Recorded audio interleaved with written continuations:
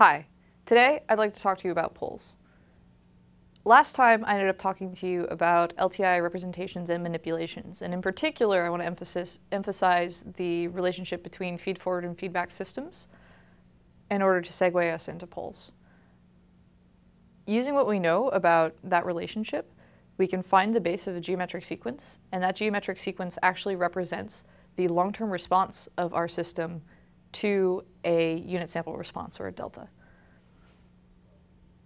That value is also what we refer to as the poles. At this point, I'll go over how to solve for them and very basic properties of them so that we can use the information that we have about the poles to try to actually predict the future or look at the long-term behavior of our system. First, a quick review. Last time we talked about feed-forward systems, and in particular I want to emphasize the fact that if you have a transient input to your feed-forward system, you're going to end up with a transient response. There's no method by which a feed-forward system can retain information over more than the amount of time steps that you feed information into it. Feedback systems, on the other hand, represent a persistent response to a transient input. Because you're working with a feedback system, information that you put in can be reflected in more than one time step, and possibly you know, multiple time steps depending upon how many delays you have working in your feedback system. Last time I also drew out the relationship between feed-forward and feedback systems. You can actually turn a feedback system or talk about a feedback system in terms of a feed-forward system that takes infinite samples of the input and feeds them through a summation that takes infinite delays through your system. You can represent that translation using a geometric sequence. The basis of that geometric sequence is the object that we're going to use in order to predict the future. And that's what we're talking about when we talk about poles.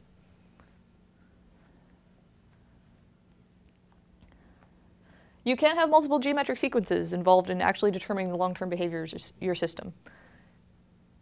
If you only have one, then things are pretty simple. You find your system function, you find the value associated with p0 in this expression. It's okay if there's some sort of um, uh, scalar on the outside of this expression, right? We're working with linear time invariant systems, so that scalar is going to affect the uh, initial response to your system, but in terms of the long-term behavior, it doesn't matter as much. So don't worry about it right now. Relatedly, if you're solving for these expressions in second or higher order systems, you're going to end up having to solve partial fractions. You can do this, and in part, one of the reasons that you would want to do this is so that you can get out those scalars if you're going to be talking about the very short-term response to something like uh, a transient input. We're not going to be too, too interested in those in this course. We're mostly going to be talking about long-term response. So we can get around the fact that we're dealing with uh, higher order systems and not solving partial fractions by substituting in for an expression called z, which actually represents the inverse power of r, and then solving for the roots of that equation. If you substitute z in for 1 over r in this denominator, and then solve for the root associated with that expression, you'll get the same result. You'll actually end up out with P0. All right, so now we know how to find the pole, or multiple poles, if we're interested in multiple poles. What do we do now? I still haven't gone over how to figure out the long-term behavior of your system. The first thing you do is look at the magnitude of all the poles that you solved for and select the poles with the largest magnitude. If there are multiple poles with the same magnitude, then you'll end up looking at all of them.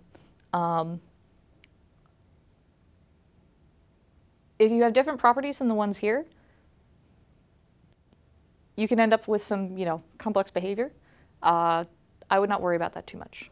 Or, you know, I would ask a professor or TA when that happens. But in the general sense, if your dominant pole has a magnitude greater than 1, then you're going to say long-term divergence in your system. This makes sense if you think about it. If at every time step, your unit sample response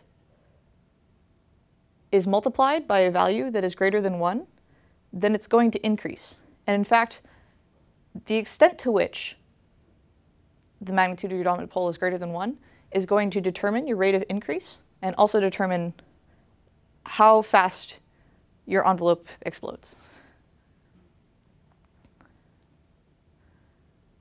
Similarly, if the magnitude of your dominant pole is less than 1, then in response to a unit sample uh, input, or a delta, your system's going to converge.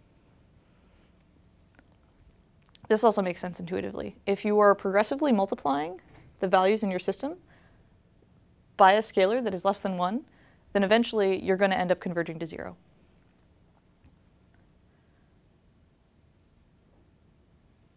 To cover the only category we haven't talked about, if your dominant pole is actually equal in magnitude to 1, then you're not going to see convergence or divergence. And this is one of the places in which the uh, magnitude of the scalar that you end up multiplying your system by can become relevant.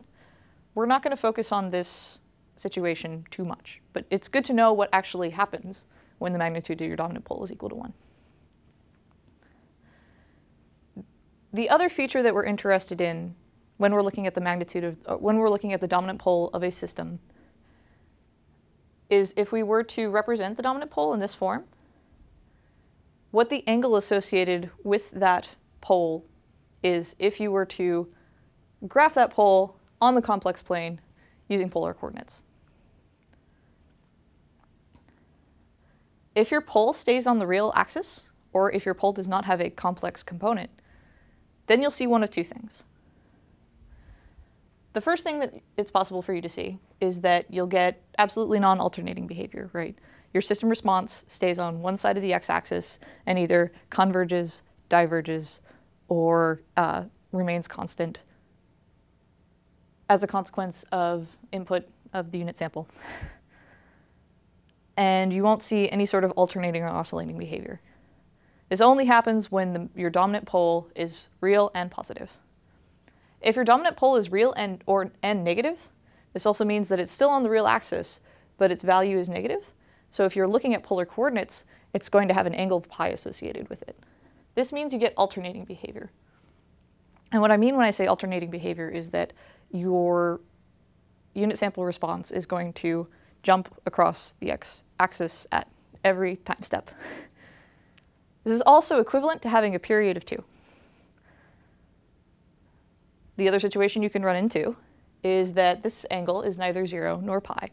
And at that point, you're going to be talking about oscillatory behavior or a sinusoidal response that uh, retains its edges at the envelope of your function. In order to find the period, or in order to find the amount of time it takes for your unit sample response to complete one period, you're going to take the angle associated with your dominant pole and divide 2 pi by it. This is the general equation for a period. This covers the basics of what you want to do once you already have your poles. Next time, I'm actually going to solve a pole problem and show you what the long-term response looks like, and also talk about some things about poles that I've you know, pretty much skimmed over. And at that point, you should be able to solve and look at poles for yourself.